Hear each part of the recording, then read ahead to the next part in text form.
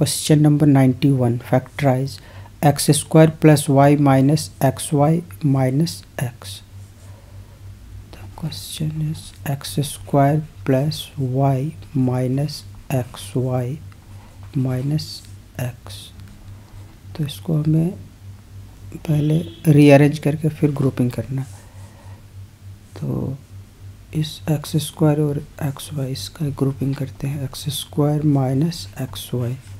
और फिर minus x plus y, ये सेकंड या